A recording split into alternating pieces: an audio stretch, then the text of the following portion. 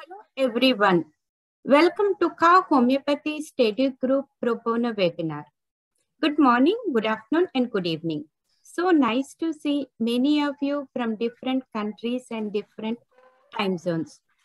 Before we start our webinar, we always thank Universe for giving us this great opportunity. And Dr. Sweta Singh, our Ka Chief Administrator, will start the session. Thank you so much, ma'am. And it is my privilege to introduce Ka Homeopathy Study Group to all of you. Uh, Ka Homeopathy Study Group Pro Bono was organized and founded by homeopath and humanitarian Kavitha Kukunoor, President and CEO of Kavitha Holistic Approach, KA.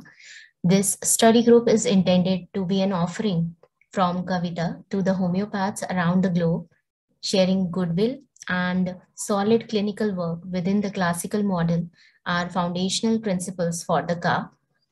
KA missions and vision are very unique to inspire young homeopaths, mentor, provide excellency for educational purposes using holistic approaches via webinars, which are based on uh, principles of classical homeopathy and provide professional continuing educational homeopathic credits for practitioners. We provide merit certificates for spreading the light of homeopathy around the globe. Dr. Kavitha is a member of Kavin Friendly Foundation, a non-profit organization that helps to serve poor people in greater needs in India. She is the recipient of Martha Ullman uh, Community Service Award by National Center for Homeopathy and Best Entrepreneur Award from Dr. N. Lingaraju, Principal of JSPS uh, Homeopathic Medical College, Hyderabad, India. We are extremely happy and proud that we celebrated 10 years of her book, Beyond the Limits, a challenge to prove oneself. And today, we are more happy as we successfully uh, completed one month of her second writer, her ebook, A Dose of Spirituality with Kavitha.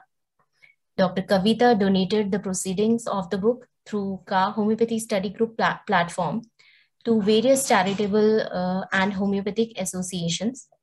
To name a few are Kevin Friendly Foundation, CHC, uh, DHMA, D, uh, JSPS College, VT Seva, NCH, and many more.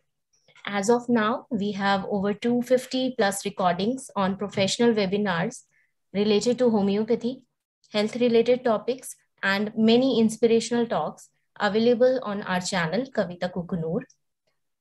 This webinar is moderated by me, uh, Dr. Shweta Singh, Chief Ka Chief Administrator. It is being recorded as we speak, and we are live on Facebook. We will take uh, questions at the end of the webinar, and we will post jot form in Zoom webinar chat at the end of the webinar. Please fill the form to receive your certificate. And if you're watching live, uh, email us at castudygroup at gmail.com. Kindly mute yourself and turn your video off for better connections. And for uh, code of ethics, I would like to invite uh, our car coordinator, Dr. Shrija. Dr. Shrija, are you there? Over to you. I think Dr. Sweta, she's running little late and she will join soon. Thank you. Okay, sure, ma'am. Over to you, ma'am. Thank you. Thank you so much, Dr. Sweta. And she manages our car activities with cute smile. I thank Ka Homeopathy Study Group entire team for their continuous support, selfless support with which we are able to make our pro bono activities and webinars so beautiful. These webinars are for educational purposes only and should not misuse any of the course content without speaker's permission. Always seek an expert homeopath for treatment. Being an outreach coordinator of CHC PR committee, HNS CPD provider encourages homeopaths to become CHC certified and to participate in HNA accredited CU webinars. Today, February 27th, we have two honorable speakers from our Ka Homeopathy Study Group. Dr. Pawan Pareek, who speaks about homeopathy in emergency, and Dr. Yashika Arora, she shares her knowledge on homeopathy and tonsillitis. Dr. Pawan Pareek, MD in homeopathy, is an experienced homeopath with over 27 years of clinical experience. He is a visiting professor to many homeopathic colleges and gives seminars worldwide to name few Hungary, Malaysia, Singapore, Germany, Australia, UK, USA, etc. He has extensively treated cancer, brain tumor, cerebrovascular accident, to name few, hydrocephalus, epilepsy, cirrhosis of liver, chronic renal failure, uterine stone, mammary and uterine tumor, benign prostate, uh, and many skin conditions that are declared as difficult and incurable diseases.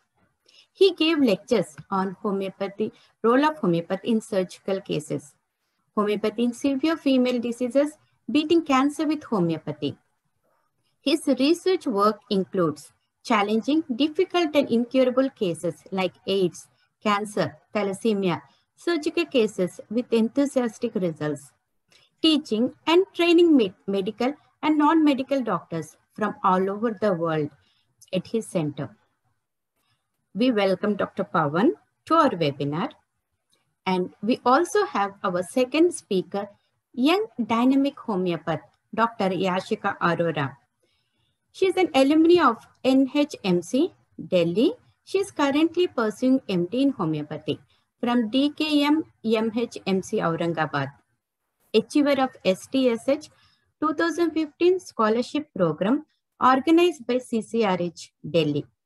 Title Efficacy of Homeopathic Medicines in the Treatment of Alopecia areata for a period of six months under CCRH.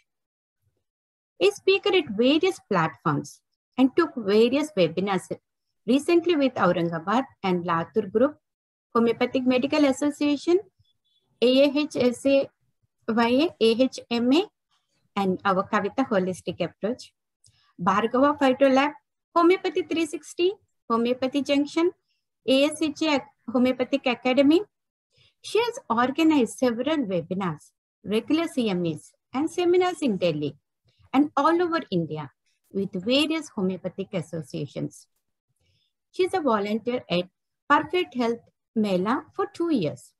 She is very kind and our dedicated car volunteer and creates beautiful flyers and website updates. Let us welcome both our speakers to our webinar. Dr. Pawan, would you like to start, please?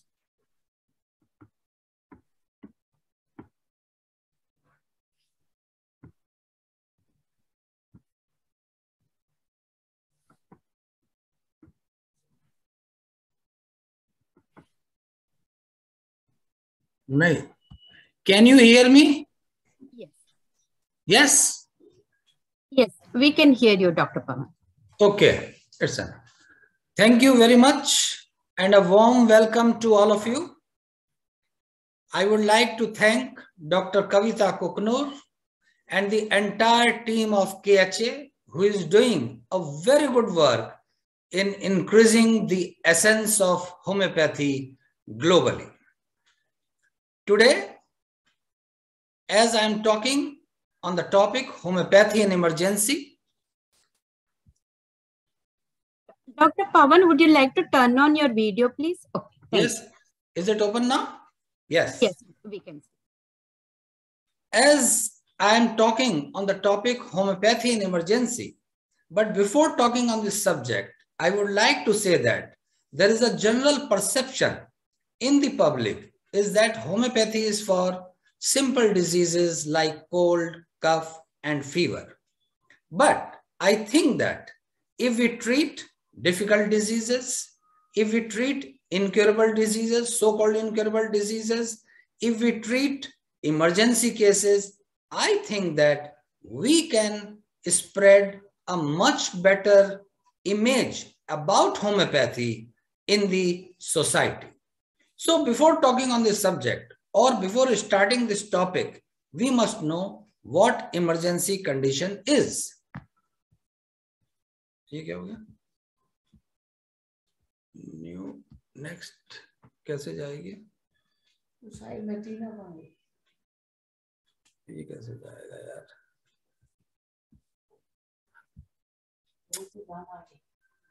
तो ये जाना चाहिए ना। Doctor Pawan would you like to do enter और down arrow please ये down arrow it is not working down arrow it is not working नहीं।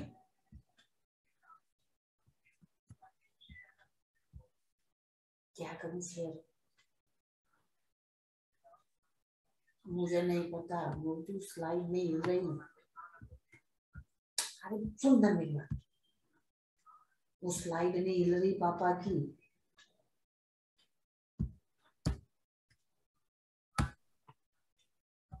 yes yes.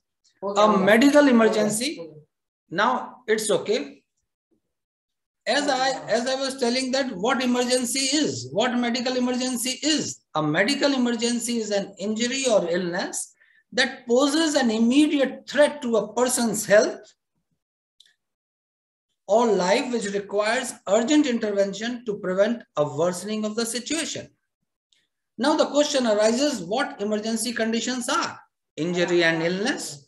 We have very good medicine in form of Rhus tox, Arnica montana, Ruta, Calendula officinalis, Hypericum, Ledum pal. As far as meningitis is concerned, we have very good medicine in form of Belladonna, Cuprum metallicum, Stramonium, Helleborus, Zincum metallicum, and of course tuberculinum and bacillinum. As far as cardiac attack or the heart attack is concerned, once again, in emergency, we have very good medicine in form of aconite nap, Cactus grandiflorus, Spigelia, Crataegus oxycantha, Naja, Lachesis. Metabolic, the dehydration, people usually remember China officinalis, is there in everybody's mind, in everybody, in each and every homeopath. But remember, ORS has its own importance. As far as neurological status epilepticus is concerned, my personal experience is that many times the neurophysician even get nervous in cases of status epilepticus. But as far as homeopathy is concerned, once again, we have very good medicine in form of aconite nap, belladonna, cuprum metallicum, plumbum metallicum, zincum metallicum, oenanthe crocata, and of course, we must not forget Artemisia vulgaris. As far as suicidal thoughts or suicidal impulse is concerned, Aurum metallicum is known to everybody, but we must not forget Ignatia, Natrum muriaticum, arsenic album, and acid phosphoricum. And at last, the urological, the acute renal failure, aconite, nap once again comes on the front foot. Then apis mellifica is there, arsenicum album is there, causticum is there, and many more medicines.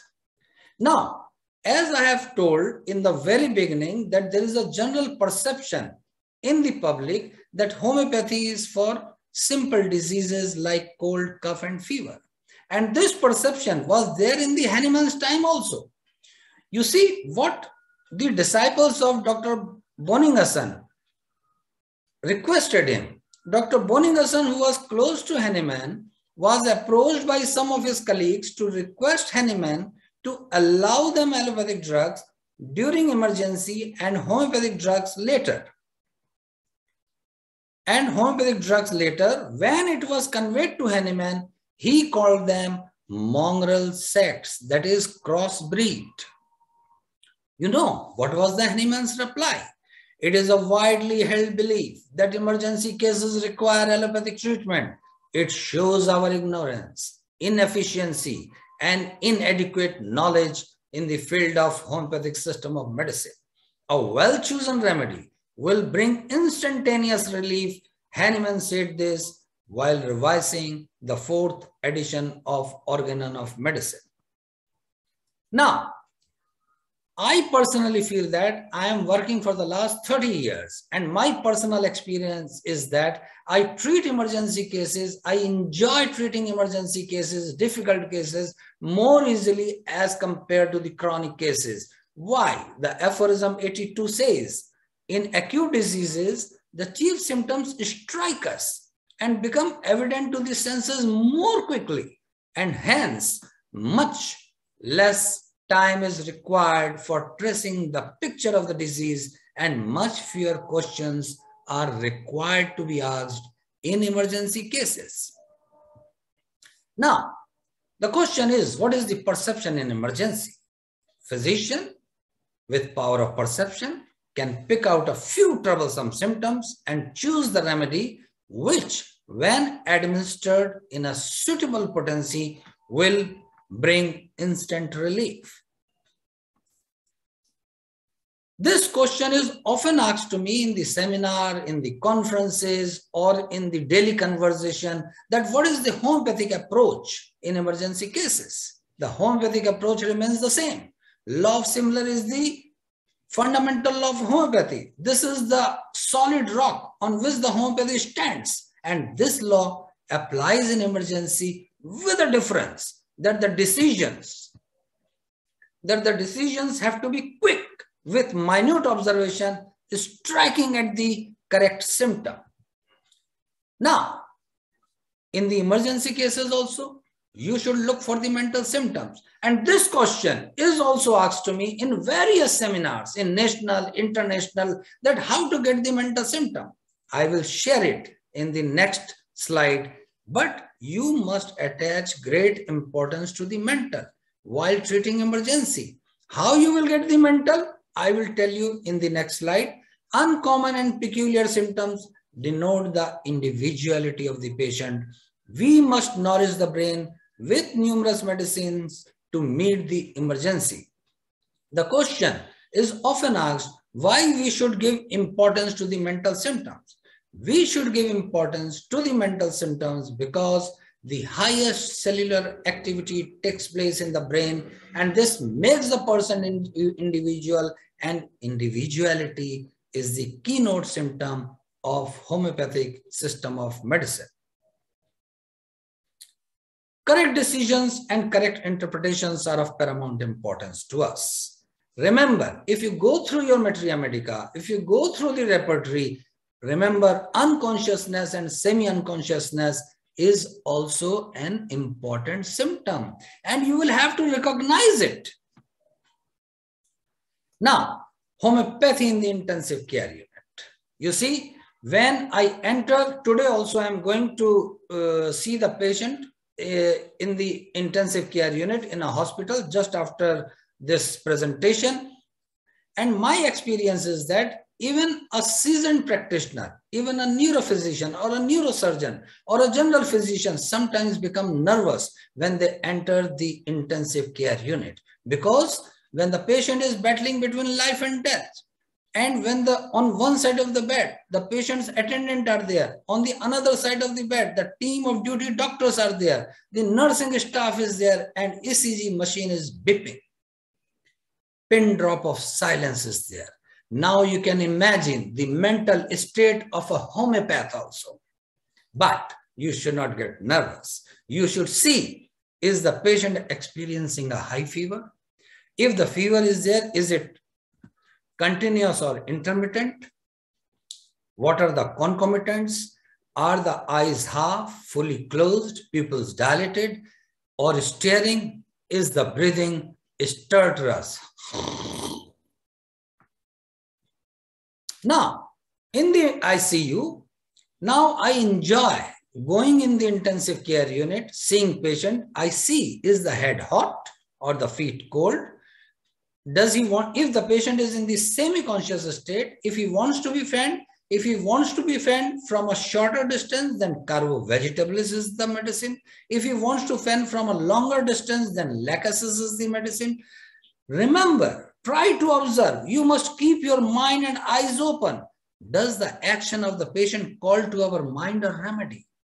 Is the eyes staring, picking of the lips, picking of the bedclothes? And then you must think, what was the condition? How this patient was brought to this intensive care unit? What made him brought? What made him brought?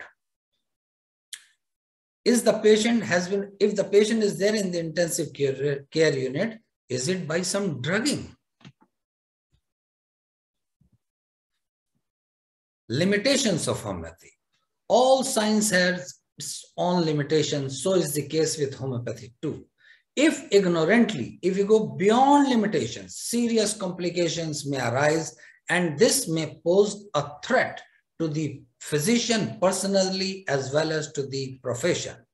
We must see if the patient is severely dehydrated individual, ORS or saline is required. If patient is undernourished, nutritious diet is required. If acute chemical toxicity is there, then gastric lavage is required. If the patient is in hypoglycemic state, then apart from China officinalis, we must give patient sugar. Now, this is the case, emergency case on congestive heart failure. A very difficult case and most memorable case of my life. Now the question arises, what are the causes behind congestive heart failure? The causes are coronary artery disease, hypertension, abuse of alcohol, valvular heart problem, idiopathic and drug abuse. In this case, you will see this case became the case of congestive heart failure due to abuse of drug. A girl aged 12 years was suffering from pain lower abdomen, right iliac fossa with fever and vomiting. Senior physician considering it to be a case of appendicitis, patient was referred to surgeons where an ultrasound was done with an opinion within the normal limit. The first prescription is of a senior physician. Ultrasound was prescribed and the ultrasound was within the normal limit. So the case was referred to a surgeon. Pain in the right iliac fossa. You can see for the last one and a half month, history of vomiting, tenderness in the right iliac region, and the case was suspected of acute appendicitis. This is the ultrasound report. Ultrasound report was within the normal limit. Since the patient on and off complained of pain in the right iliac region, low hanging fever, and the patient was put on anti-tubercular treatment because the continuous pain was there and low hanging fever was there. But in spite of the anti-tubercular treatment, the patient was not getting relief. The patient was not feeling well. So the parents took her to a, another surgeon and another surgeon examined her and Koch's abdomen was uh, diagnosed and advised her to continue anti-tubercular treatment and he prescribed some medicine. Another prescription is of the chest specialist, the pulmonologist. Now, if you go through the Roberts philosophy, it is written over there, there are two mission of the physician. Mission number one is to treat the case and mission number two is not to spoil the case.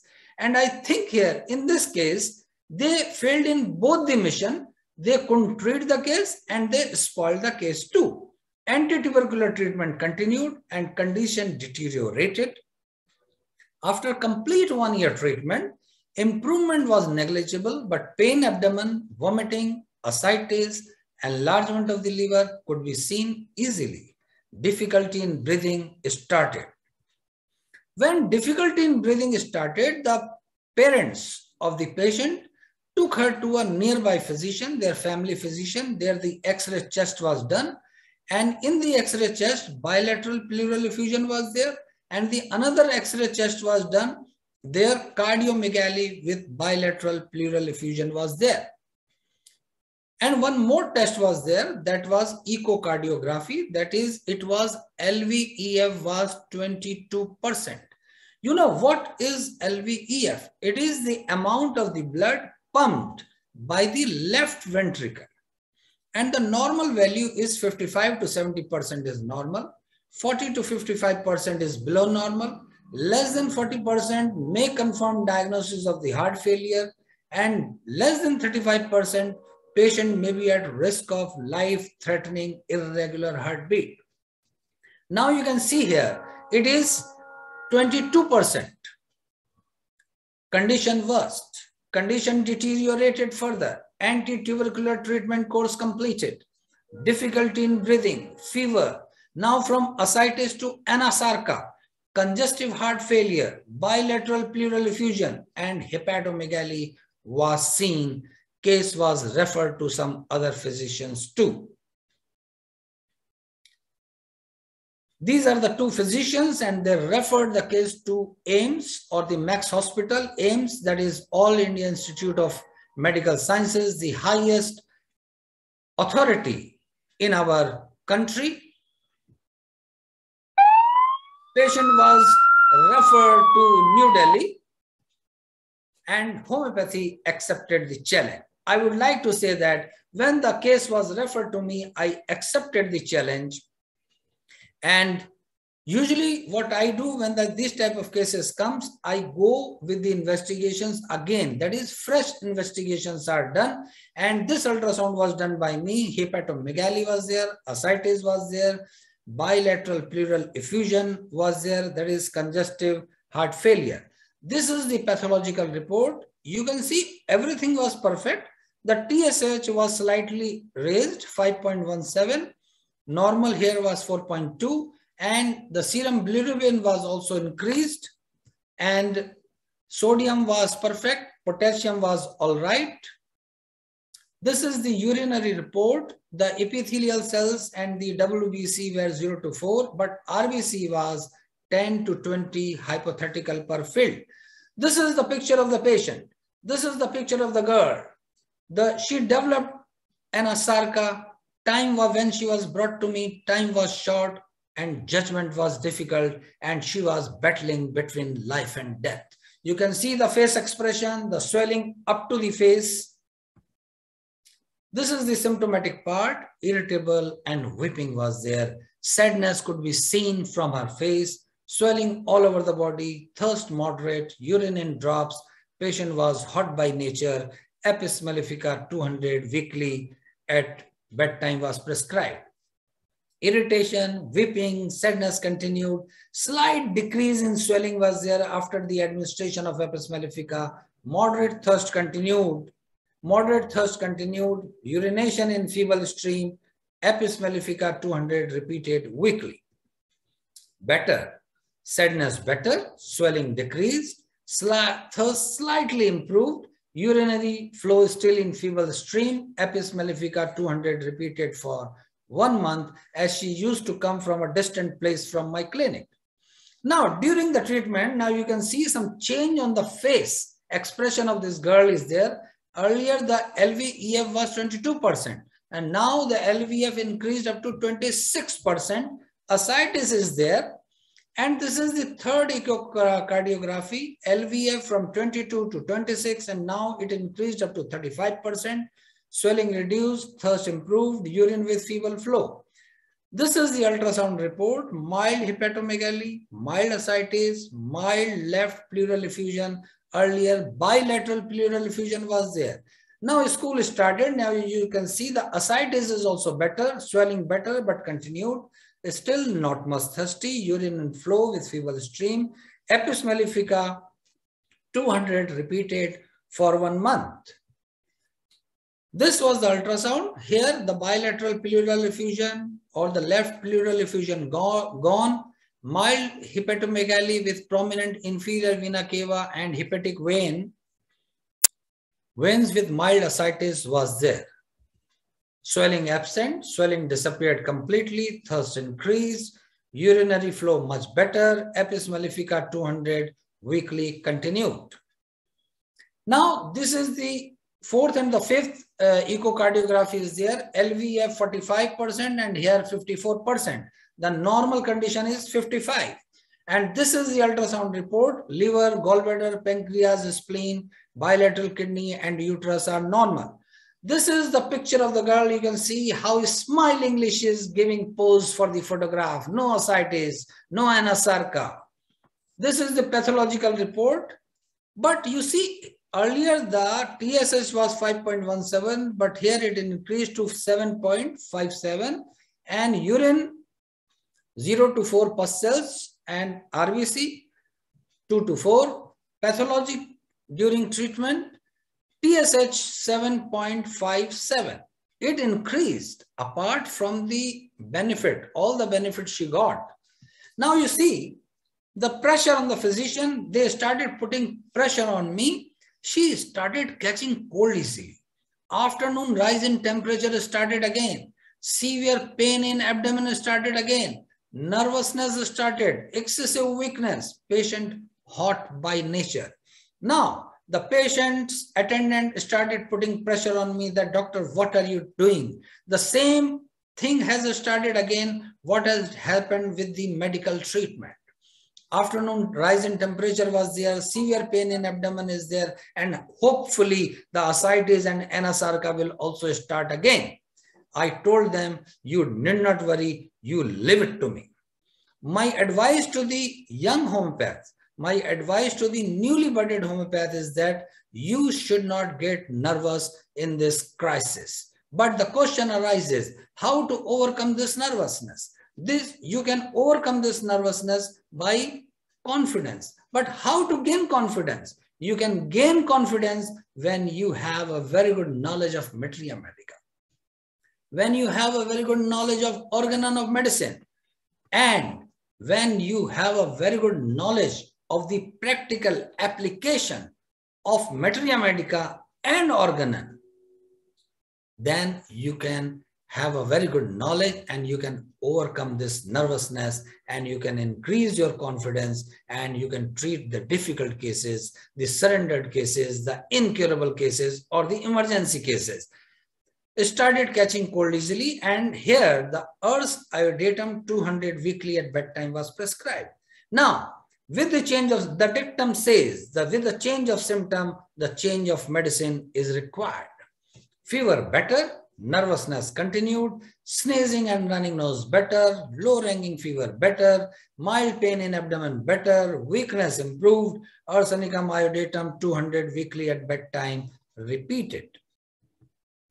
Thyroid normal on 30th of September 2011, 5.17 was there. On 24th of November 2011, it increased to 7.57. And on 4th of January 2013, the value came down to 1.36, no, 1.58. So everything was perfect. And I treated this, I enjoyed treating this case and still now I am getting lots of patients from this family. In conclusion, I would like to say that law of similar is the fundamental law of homeopathy and this law equally applies in emergency condition. We must thoroughly nourish the brain with numerous medicines to treat various medical emergencies. Physician with power of perception chooses the remedy when administered in suitable potency will bring instant relief. Emergency, trauma, injury, depression, Sometimes the most seasoned practitioner will panic and draw blank during this time. But each emergency, remember, but each emergency is organized by definite sign and symptoms. Suppressed anger, grief, financial loss, etc., causing apoplexy or hypertension, the background of which are emotions, the mind, the mental symptoms, which is the basis of homeopathic prescription nourishing the brain with Hahnemannian principle and materia medica to meet the emergency with a victorious attitude of mind and a desire to win. Results are mostly outstanding. Thank you. Thank you very much.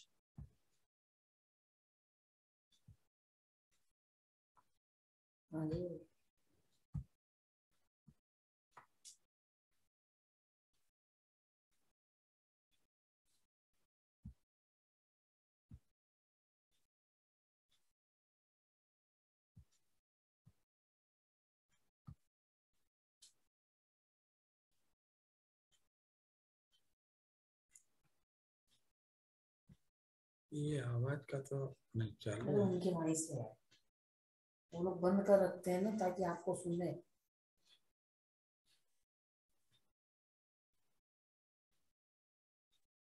Thank you so much, Dr. Pavan, for this wonderful presentation, sharing the difficult cases, showing the efficacy of homeopathy and how it can play very important role in emergency conditions. And when applied with the homeopathy principle, to see the amazing cure and results. So Dr. Sweta will take um, some questions, um, Dr. Pawan. Yes. There is one question from Dr. JM. How was the EF and how many years the treatment continued? I think it took more than one year. It took more than one year. From Apis mellifica, then we switched over to Arsenicum iodatum. I think Arsenicum iodatum took about uh, seven to eight months, and before that, Apis mellifica was the medicine. Okay, thank you, sir. And do we have any more questions from the viewers? Any questions? Anyone would like to ask?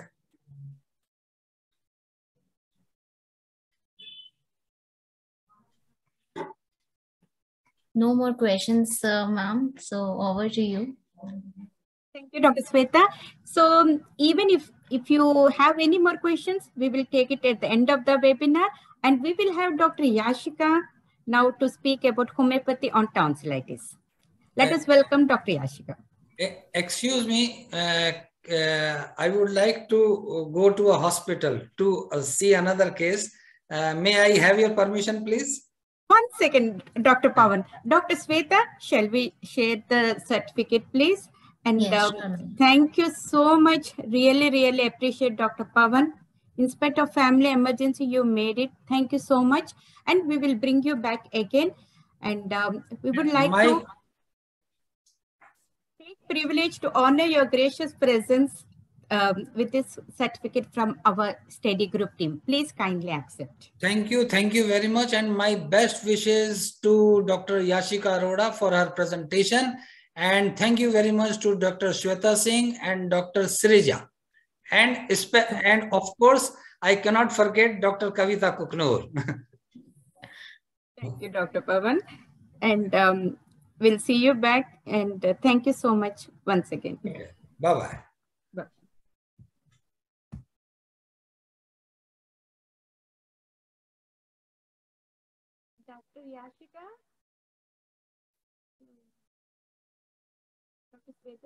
Are you seeing her?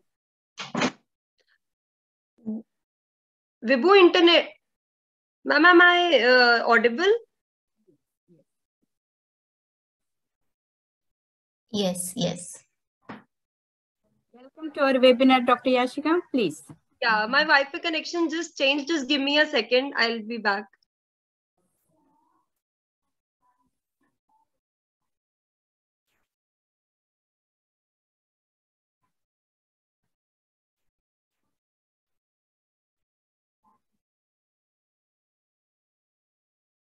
Now, uh, things.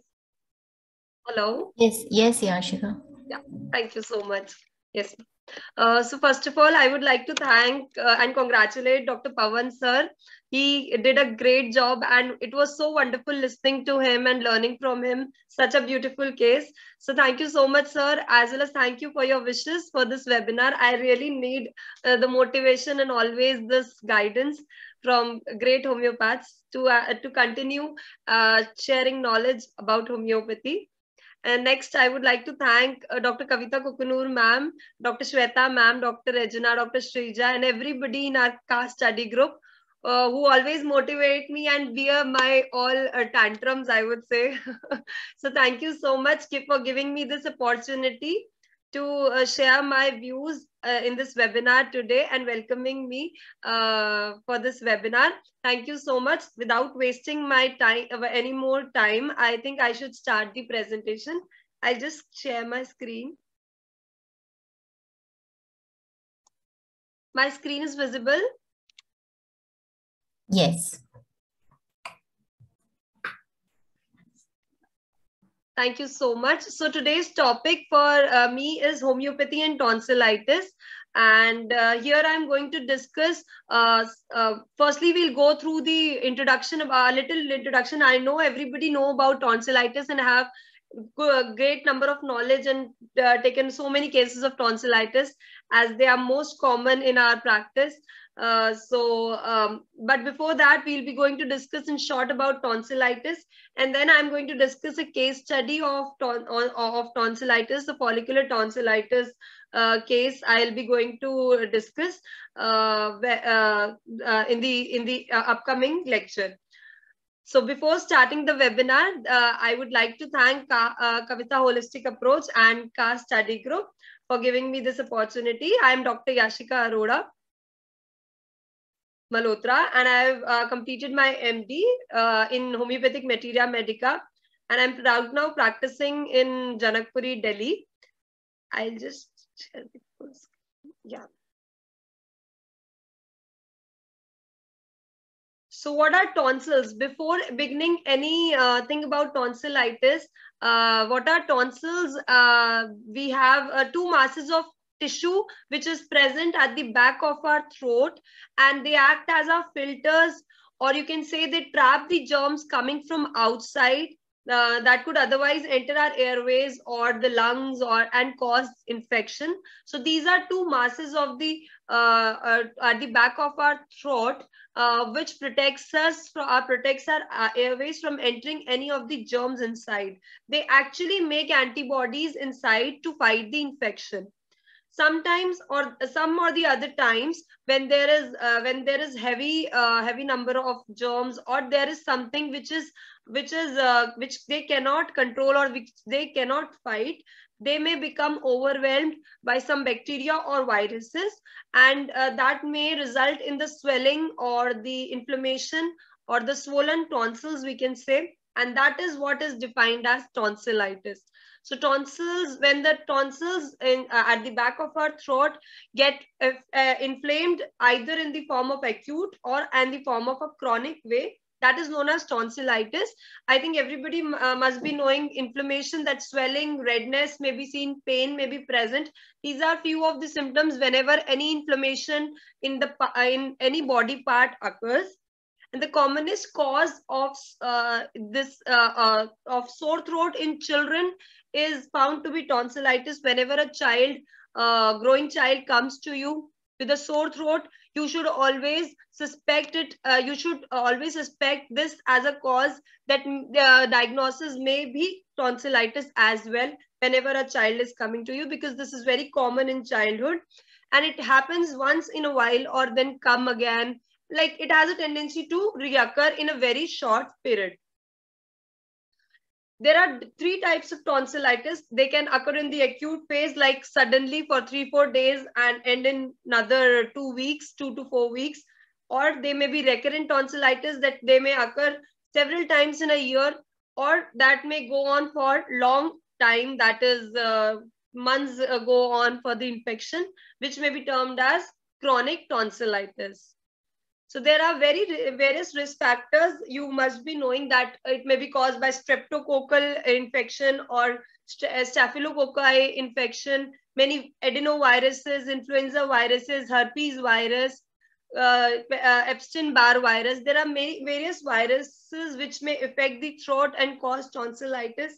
And the kids between five to year, uh, eight years of uh, five to 15 years of age group, especially three to five years of age group uh, ch child, whenever he starts to go to school or meet people or come across various germs that may cause tonsillitis because they, uh, tonsils may occur through cold virus or measles or through bacterial causes like staphylococci, streptococcal or pertussis, etc. So a child, when uh, he goes to the uh, he goes to the school at three to five years of age, he may meet with this fresh infection. Uh, the causative organism may be maximum of the times it is be, it may be beta hemolytic streptococcus, staphylococcus, etc. Another uh, reason, another risk factor, another cause which may be the reason for uh, this uh, in, uh, tonsillitis infection is maybe drinking any infected water uh, or drinking uh, the the milk which is not good for health, which is which is actually uh, not fresh uh, or it may be infected somewhere or maybe PND. The PND may be one of the reasons that post nasal drip, people with allergic rhinitis or sinusitis, or having complaints of PND may also get uh, infection of tonsils as um, as the reason uh, as one of the risk factors. General ill health, if the person is having low immunity or he's not having like uh, he's he's very prone and sensitive to infections and his general health is weak, then also uh, tonsillitis may be a common infection because uh, being at low immunity, we come across infections each day and that, that may affect our body. Overcrowded places, ill ventilated rooms, especially in spring and uh, autumn season, tonsillitis is seen more commonly. And uh, as we already discussed, that inflammation, whenever there is an inflammation, the symptoms may be redness, pain, swollen, uh, swelling, or loss of function, these are few uh, these are the five uh, functions that may that these are the things which five things which occur in every inflammation in the body. So first the first and foremost is again throat pain or tenderness may be seen in the in this area throat area the pain may be there may be pain in the throat region which may radiate even to the ears. And whenever you swallow food whenever whenever you're having tonsillitis the patient uh, when uh, whenever swallow the food it may become he may become worse on swallowing. And sometimes uh, the inflammation may be so strong so uh, so swollen like in follicular tonsillitis that it makes it hard to breathe through the mouth. It make it hard to breathe through the mouth uh, so uh, this may be a symptom which may be seen fever obviously fever is one of the common symptom in any inflammation tonsils may become red, fosses, these fosses may become red, are fosses uh, which we can see at the back of our throat, back of our mouth. And uh, there may be white or yellow coating over the tonsils, which may show inflammation with redness. So painful blisters may also be seen or ulcers may be seen whenever there is any uh, any extreme case of tonsillitis or recurrent tonsillitis or chronic tonsillitis. Headache may also be one of the reasons. The signs which you usually uh, commonly see in the patients is the raised temperature again, that is fever. Pulse may be running fast. Tachycardia is most common in fever cases or inflammation cases. The tongue may be coated because of the swelling. The person is not able to swallow things or eat food properly tonsils would be congested. There may be some white or yellowish coating that is inspissated debris over the surface you may see. You may see the lymph nodes, these lymph glands, cervical lymph glands may be seen as enlarged or they may be tender to touch. The patient's voice will be a little thick or hoarse or very muffled when he speak because he's, he's very, the inflammation has occurred at the throat level. Weakness, loss of appetite, cough, uh, irritating cough, or um, uh, ear pain, or swollen glands in the neck, bad breath, offensiveness, pyorrhea, stiffness in the neck because of this pain. That may be one of the commonest signs, where these are few of the commonest signs which may be seen in tonsillitis. You term it, you term the tonsillitis as grade zero when the tonsil is not visible uh, uh, or uh, beyond the anterior tonsillar pillar or it is being surgically removed when it is grade 1 uh, when the tonsils occupy 25% of the oropharynx when they occupy 50% uh, I, uh, but uh, when they occupy 50% is it is termed as less than 50% but more than 25% it is grade 2 and when there are grade 3 that is more than uh, uh, less than 75% and more than 25% or 50%. And grade 4, when they're about to reach in the midline, when you see an extreme case of tonsillitis, it will be, uh, the tonsils may be, uh, may be seen uh, will, uh, attaching to each other, meeting in the midline of the mouth. So that may be the, that may be, that is termed as grade 4.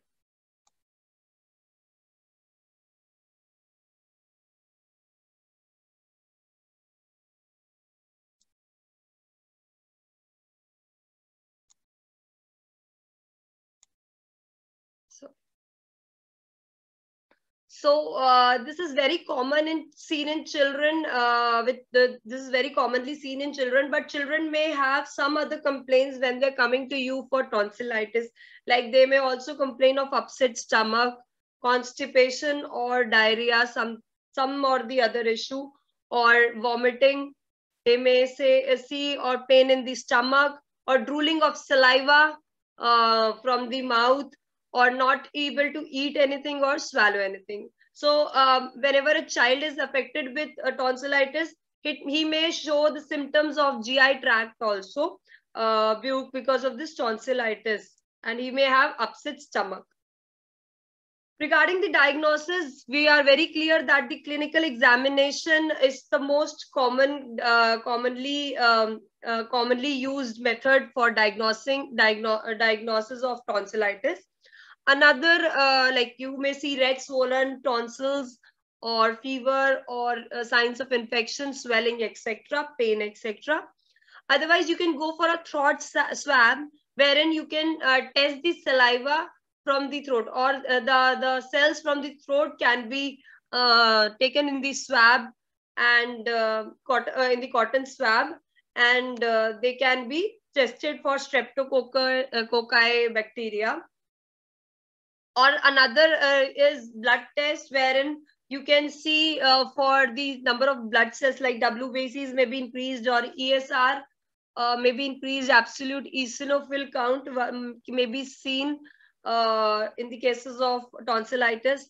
Or another uh, diagnostic feature is uh, maybe rash, which may be linked. Sometimes it may occur with the alternating with the rash, scarlatina rash, that is usually common in streptococcal throat infection.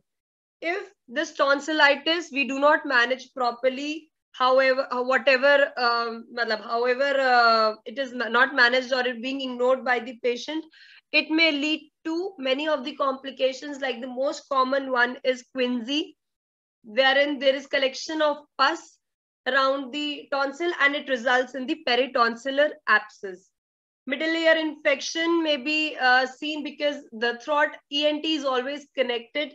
So middle ear infection may be seen if it is not managed. There may be breathing problems. The patient may have tonsillar cellulitis or that may spread to other tissues as well nearby. Rheumatic fever, scarlet fever, sinusitis, kidney infection may also be seen so how you can manage when you are talking about tonsillitis how you can manage uh, it at home uh, if you if you are if you how you can take precautions i would say. You cannot manage it without medicines uh, because uh, it, uh, if the infection is uh, much so you need a medication as well. But along with medication you need to manage the patient generally as well. Ask him to take adequate rest drink warm and cold fluids uh, warm, uh, drink warm or very cold fluids to help with the throat pain, whatever is making it relieving. Eat very smooth foods like ice creams, etc. Uh, not very, um, uh, uh, not uh, very much, uh, very much cold or like having proper ice in it. But yes, chocolate ice creams, etc. or applesauce or some flavored things may be eaten that may soothe the throat and uh, you could he must be asked with to gargle with warm salt water or you can ask him to gargle with phytolacca q uh, in uh, in water uh, 25 drops of phytolacca uh, mother tincture uh, that helps to relieve tonsillitis great great at a great at a great level. Uh, no, you can even note down phytolacca mother tincture is very uh, helpful for gargling. And he may use uh, sugar lozenges uh, like uh, we we have uh, we we have uh, mishri etc. We can chew for some time to just to relieve the throat. When you come to homeopathy, as we are having this discussion we all are connected together through this whole uh, through uh, through homeopathy only. So when it comes to homeopathy talking about homeopathy uh, the management can be done by various medicines. Uh, like we have um, uh, Merc bin iodatus, Merc proto iodatus, belladonna, hepar sulph, Merc sol, phytolacca, baryta calcarea carb, calcarea iode, psorinum, silicea, sulfur, uh, uh, various remedies which which can be used as per the symptom of the case, as per the symptom totality. Whatever is the totality of the case, you can match with the remedies and accordingly, uh, the things can be managed. Today, we are going to discuss a case of, uh, of tonsillitis, which came to me uh, around six months back. I can say six months back, a patient came to me. She was a 26 year old female and she visited to me for the complaint of unbearable pain in the throat since one and a half months uh, and she was having difficulty in swallowing food etc and it was recurring again and again she was under antibiotics and taken all sort of medicines uh, when she came to me actually the the she was a she was uh, she was not from she was from india but she was uh, staying somewhere outside in Nigeria. The patient is was in Nigeria. So he she visited to me when she came to India for some marriage uh, marriage uh, functions. So she came to me and she said that I we we I've tried all doctors there. I've uh, tried all medicines there, but I'm not getting relief. And she came uh, with the complaint of feverish feeling with chilliness. Also, she had so much exertion during the travel time lag and everything uh, in the marriage uh, marriage function as well. So she was very tired body ache was there. She also felt a, a, sort of breathlessness you can say or shortness of breath because of this pain uh, she was not able to eat. And she also said that she has a recurrent tendency of tonsillitis since many years that every three four months she gets affected with the tonsils and uh, this is not relieving since her childhood so I asked her, inquired about, inquired about more about her, that actually how it started uh, since childhood. What are you, uh, what are you uh, taking, or what, uh, what precautions do you take? So uh, she said that since childhood she had, since childhood she had a complaint, or she had allergic rhinitis as well. So she, she said that she may be allergic to dust, she may be allergic to some orange or sour foods or she she's also allergic to pets etc so whenever uh, she come across pets she eats something sour like orange or curd even. So all these things uh, aggravated her and she was allergic to things since her childhood and she also had a history of allergic rhinitis and uh, she said that uh, these these things were usually recurred again and again inquiring more about her, I asked her about her physical generals. She, she said that because of this uh, throat issue, I am having decreased appetite. That is very common in a tonsillitis infection. And she had increased thirst because she that was giving her relief. So uh, she used to drink a lot of water. And in the marked feature, what I got was aversion to sweets. She had aversion to sweets and she was a chilly patient and uh, she is her in fact her sleep was also disturbed because of this pain in throat talking about her mental generals i asked her i asked more about her how was she how was her nature so she said she had a very reserved nature and she never used to talk to anybody. In fact she has went she has been to nigeria since past 3 years with her husband after her marriage. Soon after her marriage she shifted to nigeria with her husband. He was some sales executive uh, so she had to shift along with him. So there also she doesn't have much friends. She only talks with her mother uh, sometimes on call and very less of friends uh, or some colleagues of her husband. So she had a very reserved nature. Plus because of this issue because of uh, because of um, recurrent issues she's facing and also we have a history of many other things in the case which we which i'm going to discuss now. She used to suffer from anxiety or she's very she palpitation or she was very oversensitive person easily frustrated with mood swings etc so uh, when uh, inquired more about her she also had some other complaints like i uh, we we we noted a lot of obesity uh, in her because she said uh, that she was very slim and, and uh, recently after after marriage shortly after marriage she gained a lot of weight. Centripetal obesity was being seen and she she also got the ultrasound done because she was facing a lot of uh, hirsutism as well as uh, uh, uh, skipped menses. Cycle was her cycle was very irregular. She had a history of amenorrhea since past three two years, three four years, and also she was getting obese with fatty liver. Uh, which came, fatty liver was a coincident finding along with PCOD in the ultrasound, and she also got her regular tests done and because of this weight gain somebody advised her to get the thyroid done because she had a history, family history of thyroid. So she got the uh, thyroid done. So it was also increased. The tsh levels were increased. So she was having hypothyroidism as well. Also when i asked her to get the get more of the, her investigations done because uh, pcod was also uh, detected. So i got her hormones hormone levels as well. Uh, so the prolactin was increased and uh, her testosterone levels were also increased. So altogether she, uh, she was be, she was being diagnosed with mainly um, the the chief complaint for which she came to me was tonsillitis but along with that she was also facing the issue of pcod and hypothyroidism because of which she had a lot of obesity and amenorrhea or you can say irregular menses at every other month. So altogether, this case was taken and um, the, uh, the symptoms were noted.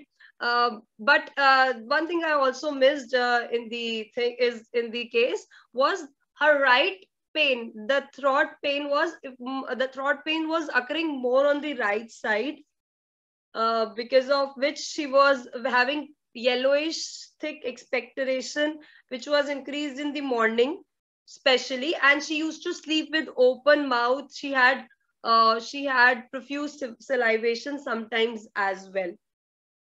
So uh, uh, after uh, after uh, coming out to the case she was uh, she was diagnosed with she was being diagnosed with follicular tonsillitis also which was recurrent pcod hyperthyroidism. Also she had a history of breast abscess. So altogether, it was a very sycotic uh, case, I can say. The, the sycotic miasm was much noted in the case. Increased prolactin levels, fatty liver, obesity, altogether, the sycosis miasm was being noted. But then uh, after repertorization, few of her symptoms were uh, marked. As per the acute phase, I gave her the remedy. She's still my patient continuing the medicines. And pa since past six months, she's not uh, she's not having the the ha she has uh, she didn't complain of tonsillitis again but she's my patient for pcod and obesity thyroid etc we are managing uh, at that point the acute remedy which was uh, which was repertorized and accordingly uh, the case was taken. So first rubric which was taken was enlargement of tonsils. Uh, the the case repertorization was done from Kent's repertory. This is done through the uh, through the app home Hompath firefly app mobile app. Because I was at clinic, so I had to uh, repertorize uh, a SAP. So um, the second uh, rubric was taken as pain, throat, pain on swallowing, mind anxiety, mind reserved, changeable mood, fever with chilliness, and then uh, weeping tearful mood. Also, she, she had palpitation palpitation during the uh, she said that whenever she had a bad mood or anxiety she used to have palpitation and she was very worried about her disease again and again. Altogether uh, after marriage because before marriage she was a perfect girl with no much complaints. Tonsillitis used to occur once in a year or sometimes. So she had some, everything aggravated after her marriage. She had thirst increased thirst and aversion to sweets. She was very sensitive person easily affected to dust sour things, etc. She also had abscess in her breast. Obesity was taken uh, considered as a symptom, and cyst in the uh, cyst in the ovaries, liver enlargement, follicular inflammation. I'll just show you the picture of that tonsils which uh, which uh, which were there on in her throat. So it was so much uh, inflamed that uh, she had to mm, she had to uh, uh, it was defined it was diagnosed as follicular tonsillitis. The prescription after uh, after the after repertorization, the prescription, as you can see easily in the repertorization, the the remedies which came up uh, in the repertorization was Merc sol, sulfur, phosphorus, lachesis, belladonna, lycopodium. So if you differentiate between all these remedies, so it is very clear that uh, lachesis, uh, lachesis and belladonna and phosphorus, merc, all are very uh, good remedies for uh, managing folliculite, uh, uh, tonsillitis. But when it comes to follicular tonsillitis, so lachesis, phosphorus, mercury, Merc sol, belladonna are great remedies. Taking the symptomology, taking the symptomology, belladonna is an uh, acute remedy for tonsillitis and the symptoms she was showing increased thirst, loss of appetite, and so much irritability. Um, she she she was showing and uh, she was very uh, like she was she had a reserved nature. So uh, the, the, that, that that time it was very difficult to rule out. Baryta carb is also a great remedy for uh, which was coming to my mind while seeing the case because I've got good results with Baryta carb in uh, Baryta carb 6 potency, especially in cases of tonsillitis. So uh, lachesis was being ruled out as the, the as her right side was more affected. So lachesis was totally ruled out. Sulfur being uh, maybe was ruled out because there was not much burning seen and the case was more towards the sycosis miasm or the you can say sycotic syphilitic it was going on because the growth were seen abscess were seen. So sulfur was being ruled out.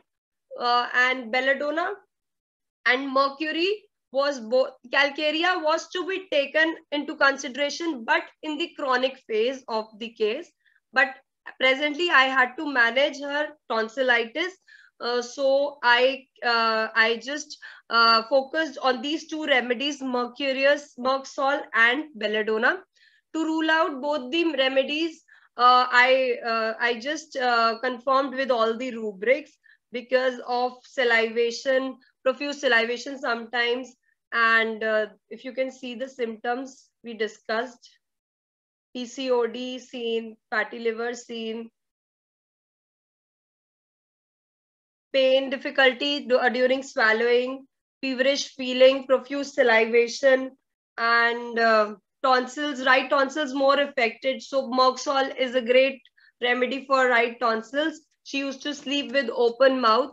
So after ruling out uh, the repertorization and uh, relating it with the materia medica, she was prescribed Merc sol, Merxol 30. If you read it uh, through the materia medica, uh, you uh, you you may see that all the Merck group remedies they are very good uh, remedy they are very good for um, tonsillitis cases of tonsillitis like you can say about Merc sol you can say about Merck Merc iod ruber Merc iod flavus or Merc sulf. They all are very good remedies for throat Merc dulcis for ears. So Merck group is a great uh, group for um, ENT problems. So I uh, related it with Merc sol. And after uh, uh, after reading it from the uh, Materia Medica, Materia Medica clearly says that uh, there is putrid sore throat, which is worse on right side. You may see inflammation on the over the tonsils. There may be ear pain on swallowing. There may be pain and difficult swallowing is there, sore, sore, raw, raw sensation, smarting, pain, complete loss of voice. She was also having very hoarse voice when I when I was talking to her.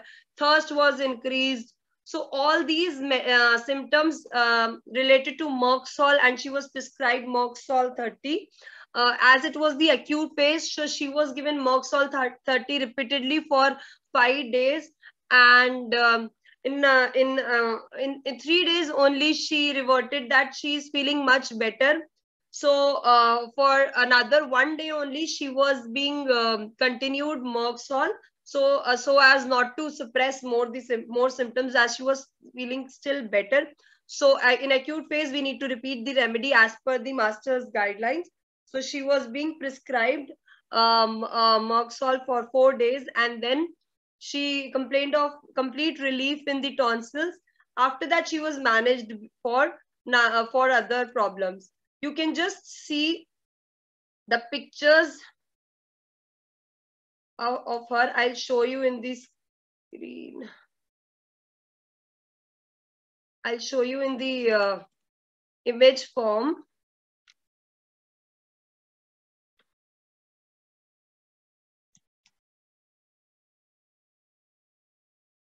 See how she had the first visit of the patient when she came to me.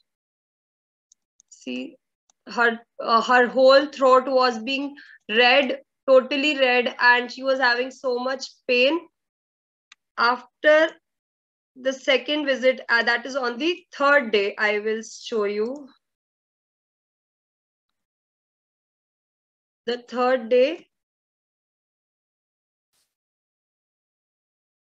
the third day the patient came with a little improvement and her uh, her uh, uh, tonsils were better but the right side was still having much pain and redness was present. The third visit when she came to me after 5 days you can see her throat you can see her throat is totally fine the red side was much much better with the medicine. So uh, this remedy uh, in this acute phase was totally relieved the patient so immediately. And and accordingly uh, after that uh, when she was relieved she was continued the medicines for pcod she's still now continuing the medicines. In nigeria she takes the medicine uh, as per the prescription. Um, uh, still we are uh, we are in touch.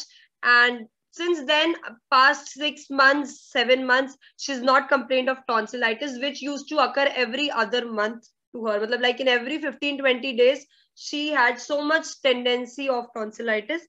So till uh, since six uh, six months it is being relieved and we are working on thyroid obesity and pcod right now. So takeaway i would just say that you can um, you one must uh, one must along with the this management uh, medicinal management you must tell the patient to uh, take precautions always which are being very common right now also because of this covid pandemic that she or he should wash their hands often they should maintain hygiene adequate rest and should not share food, drink, or utensils with anybody. And also, if a person is having a tendency to tonsillitis, he or she must stay away from people who are having some sore throat or tonsillitis. So thank you so much. Uh, everyone for bearing me for so long and listening to me for so long. I would like to thank Kavitha Holistic Approach, Dr. Kavitha ma'am, Dr. Shweta ma'am, Dr. Regina, Dr. Shrija, Dr. Shravali, Dr. Shweta, everybody uh, who has been uh, a great contributor always dr pooja i think she's having um, she's uh, she's uh, uh, she's very special today because it's uh, because it's her birthday uh, so, uh, so I think everybody, I would like to thank for giving me this opportunity to participate in this webinar. Uh, for you, any queries, you can uh, contact me at the given details. Thank you so much. Over to you, Shweta ma'am. Thank you, Dr. Yashika. Uh,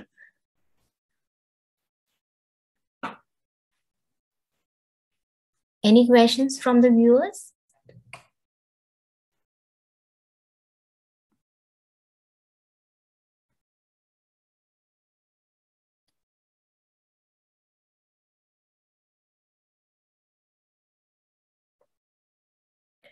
We have one question, Dr. Yashika. Uh, what about belladonna in tonsillitis? Yeah, thank you so much, ma'am. Uh, yeah, belladonna is a great remedy in tonsillitis. Um, it is it is one of the bestest remedy, I would say, which is very commonly used by doctors for tonsillitis, acute phase of tonsillitis, being an acute remedy. If you see the symptoms, uh, there is redness, again, inflammation, which uh, which is given, uh, which is being mentioned in our Materia Medica books only. If the person is asking me about uh, this case in belladonna so uh, i already discussed about the symptoms that she was uh, she had uh, shown that it was right side which was more affected and salivation sleep prob sleep issues. Um, so that that that, uh, that is common like that is common in merck uh, we talk about belladonna so there is a glazed appearance and dryness is also very much present in the tonsillitis of belladonna. The patient, uh, again, it is also a right-sided one, but the tonsils feel very constricted and uh, they are more worse with the liquids while swallowing liquids. While in this case, the, the worse, the patient was worse while swallowing foods, etc. Not much liquids and sensation of lump is there uh, there, there may be some, there, there may be uh, mucous membrane may also get affected in belladonna. So yes, the belladonna is another great remedy, which is very commonly used in tonsillitis. One more question is there uh, from Dr. Uh, Muhammad Muzammil. Uh, any specific miasmatic prescription for recurrence of uh, tonsils, tonsillitis? Uh, recurrence of tonsillitis uh, when you uh, say this this um, this goes on as like medorrhinum is very good remedy which is can be used as a intercurrent remedy as well as a, a prescription when you talk about miasmatic point of view. So it is another great remedy uh, which which may which I have felt that if you give a dose of uh, to the patient, uh, it it usually prevents uh, the recurrence as well as if you are not getting result with the simillimum medicine, give a dose of medo. Uh, 200 or 1m a single dose would enhance the case so much that the simillimum remedy uh, give great results after that okay one more question is there from uh, dr abhishek gautam uh, can uh, any mother tincture or biochemic medicine for uh, yeah mother tincture i already discuss, uh, discussed in the uh, already discussed in the case uh, while while the presentation. I told phytolacca decandra mother tincture is a great tincture which can be used even for the even as a medicine in the form of as in the in the form of medicine or it can be used for gargling. It is great um, uh, which which can give good results in cases of tonsillitis. And if you talk about other if the symptoms like cough etc persist hydrastis again if the patient is having cough with some expectoration and uh, the effect is there uh, like the tonsils are enlarged much hydrastis mother tincture is also very good. Phytolacca and hydrastis is good. And when you talk about biochemic medicine uh, I have not much used uh, biochemic medicines for tonsillitis, but yes, when you talk about calcarea fluor and um, uh, you can say kali sulf is uh, can uh, proves to be good in cases of tonsillitis and biochemics. Wyethia is we have we are getting uh, some comments like Wyethia is also good remedy for gurgling etc. Wyethia mother tincture. Yeah. Yes. Uh, Dr. Shala Sultana, she's asking, is there any specific medicine for tonsillitis with pus? Yeah, so we already discussed the remedy of this case was also Merc sol. So Merc sol is a great remedy for tonsillitis with pus.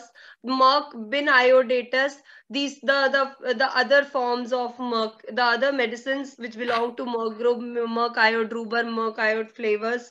They are they are very good remedies for pus. Hepar sulf is a wonderful remedy for pus, uh, pustular tonsillitis, which uh, with the tonsillitis with pus. So Hepar sulf is again good. You can use that as well. Yes, absolutely. Uh, Mark, uh, Merc bin iod for left-sided uh, tonsillitis and Merc proto iod for right-sided tonsillitis. Yeah, right. right. And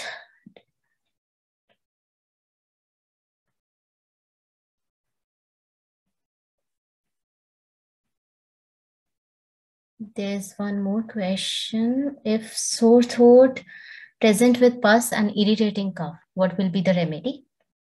Kali Kali group. You need you can go for Kali group. Kali Mure, Kali Sulf. As per the case, whatever you are getting, PND Kali Carb uh, is a great remedy for PND, uh, wherein sore throat and irritating cough may be relieved.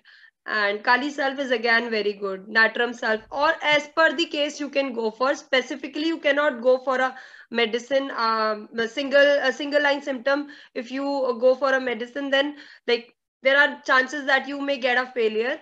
So you should uh, make the totality and accordingly manage the case with various remedies. But yes, uh, Kali group is great remedy when you talk about PND with sore throat. And if the patient is having difficulty in even opening the mouth and unable to take neither solid nor liquid. Baryta So- carb. Baryta carb is again a great remedy uh, when you talk about uh, swallowing difficulty or no- nothing is getting relieved. Uh, if, if a person is getting failure in any medicine, in cases of tonsillitis, ki wo, the case is not getting cured. I have tried Baryta carb, especially in six potency. It give wonderful results. Low potency, Baryta carb acts so great. This is all about the questions, Dr. Yashika, and a very nice description of tonsillitis uh, with nice case presentation and management. Thank you. Over to you, Dr. Kavitha. I hope I could come to everybody's expectations and I could give something good to the uh, audience, whoever joined us today. Yes, yes, you are wonderful. Yes. Thank you so much, Dr. Yashika, for the wonderful presentation and sharing more insights on the tonsillitis, its complications, and treating with homeopathy, especially with your successful cases and wide variety of homeopathic uh, remedies. One of the case where um, uh, a child like uh, four years with huge tonsillitis and painless but uh, as you said, Baryta carb, it, it made a amazing results. Baryta carb tried 30, but not six, but uh, six, it's a good to know that potency is helping. Thank you so much. And um, we would like to take privilege to honor your gracious presence and for your precious time today with our KHA study group certificate from our team. Please accept.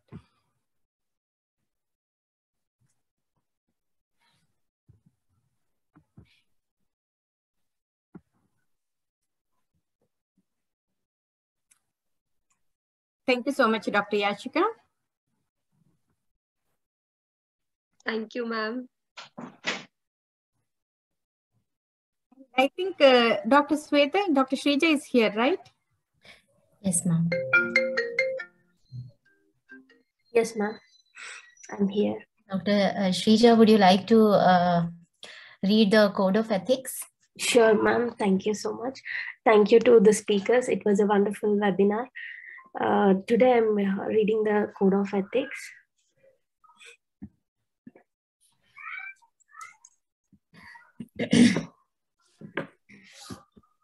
And uh, these are the code of ethics of our KHA study group.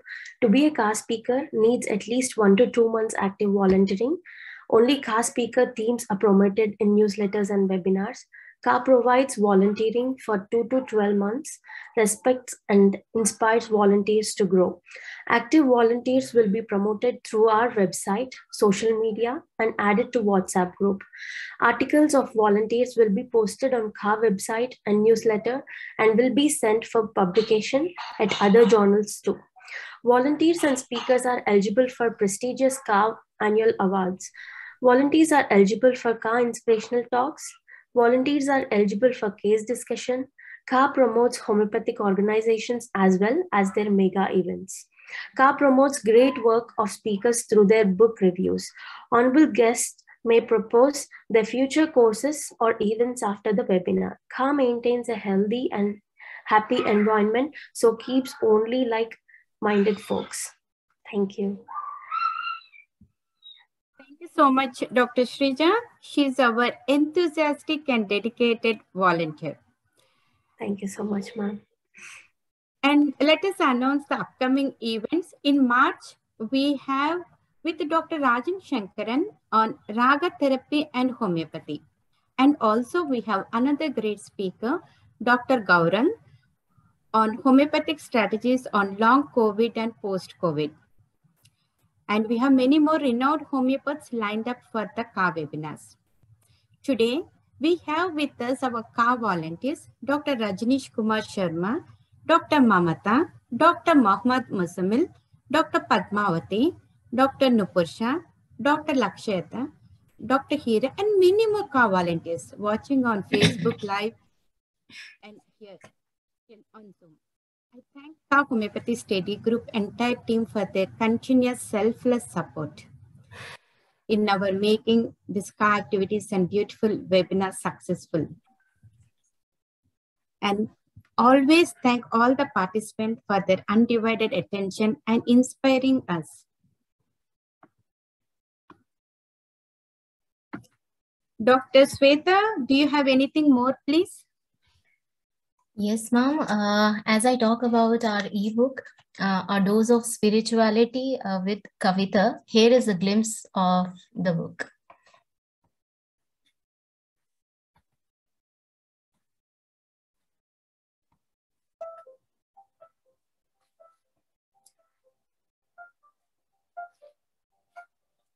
Today, we see a successful lady proudly standing in front of us who is bringing a light of education, empowerment to all of us.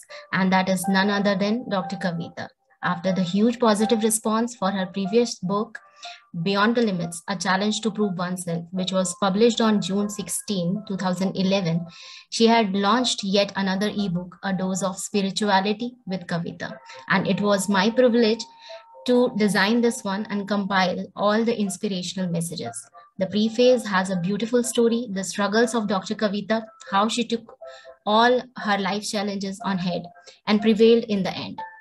The spiritual angle came right in, and she came over with more strength and positivity that you will find in this book. I feel honored to share with all with you all the glimpse of this book where Dr. Kavitha has shared the lessons she has learned in form of inspirational messages from her family, friends, and KHA study group volunteers. This book comprises of blessings from Sri Sri Chinna Jeeyar Swami and the priest Sri Atmananda Swami. Introduction was given by Dr. Vatsala Sperling with the good wishes from her husband, Mr. Vinod Kukunoor, and her children, Sai and Kavan Kukunoor.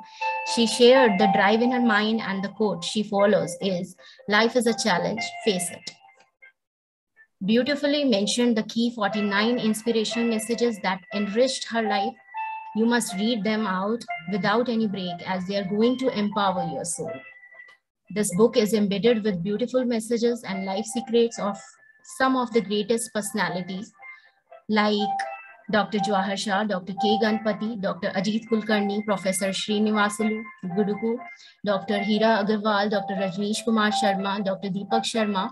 Her family members also showered lot of blessings for Dr. Kavita in the form of their inspirational messages. This book has 20 inspirational messages from Ka Homeopathy Study Group. Doctor Kavitha garu ఈరోజు మీ అందరి కోసం వాళ్ళు ఆ, డ్రెస్సులు మీకు పంపించారు. అదేవిధంగా ఈరోజు భోజనదాతగా ఉన్నారు. ముందుగా కవిత గారికి హృదయపూర్వక ధన్యవాదాలు తెలియజేస్తున్నాం అదేవిధంగా Kavitha Kukunuru garu a dose of spiritually with Kavitha అనే ఒక పుస్తకాన్ని వారు వ్రాసి ప్రచురించి నా సందర్భంగా ఆ, ఒక శుభ సందర్భంగా మీకు అందరికి కూడా కొత్త బట్టలు అందించి మీకు భోజనం అందించి ఈ యొక్క సెలబ్రేషన్ వాళ్ళు మీ మధ్యలో జరుపుకుంటున్నారు. ఈ యొక్క కవిత మేడం గారు ఇప్పుడే కాదు ఇంతకుముందు కూడా కొన్ని ఏళ్ళ నుంచి ఫయాజ్ వారి యొక్క మిత్ర బృందంతో ఎన్నో సేవా కార్యక్రమాలు అమ్మ పరివార ఆశ్రమం పిల్లల కోసం వృద్ధుల కోసం వాళ్ళు ప్రతి ఒక్క అకేషన్ బట్టి వాళ్ళు చేస్తూ ఉన్నారు. ఈ యొక్క సందర్భంగా వారి యొక్క బృందానికి పాయల బృందానికి కవిత మేడం వారి యొక్క బృందానికి అందరికీ కూడా హృదయపూర్వక ధన్యవాదాలు తెలియజేసుకుందాం. అదేవిధంగా కవిత డాక్టర్ కవిత కుక్కునూరు గారు అదేవిధంగా డాక్టర్ శ్వేత గారు డాక్టర్ శ్రీ శ్రీజ గారు ఇంత మంచి సేవా కార్యక్రమం చేసినందుకు వారికి హృదయపూర్వక ధన్యవాదాలు. వారి యొక్క వారు రాసిన ఒక పుస్తకము ఎంతో గొప్పగా చదువుకున్న వారికి అది ఉపయోగపడి ఇంకా మంచి పేరు ప్రతిష్టలు రావాలని చెప్పేసి so this book has twenty inspiration So this book has 20 inspirational messages from KHA Homeopathy Study Group, 10 words of wisdom by some of the legends of homeopathy, 11 inspirational message from Dr. Kavitha's friend, and a small photo gallery. It's an interesting and simple book which can create some more powerful and positive thoughts in your life and make you believe in your infinite uh, potential with Dr. Kavitha's life experiences and inspirational messages.